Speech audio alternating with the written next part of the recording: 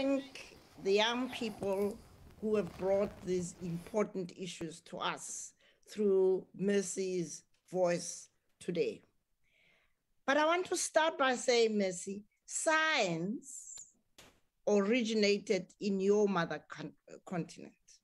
So it's not a question of decolonizing science, it's a question of reclaiming the legacy of the mother continent, the mother to all the continents that generated the first scientific insights, whether you're talking math, cosmology, and whatever.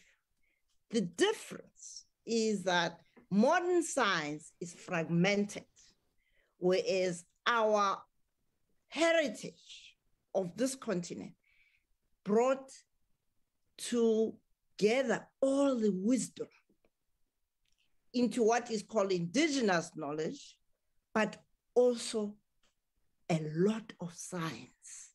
Now, combining the wisdom of indigenous knowledge with modern science is the power of what is promised by the Jena Declaration.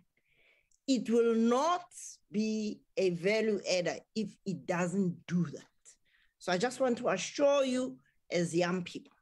Second point is the fragmentation of modern education systems has undermined our capacity as human beings to learn anew how to be human, to express our capabilities, not in compartments of science and arts, etc., but in how to be human and express our humanity through the sciences, through the arts.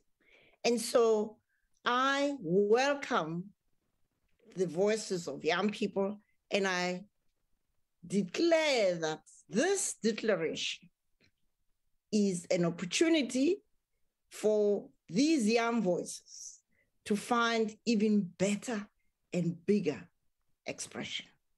I thank you.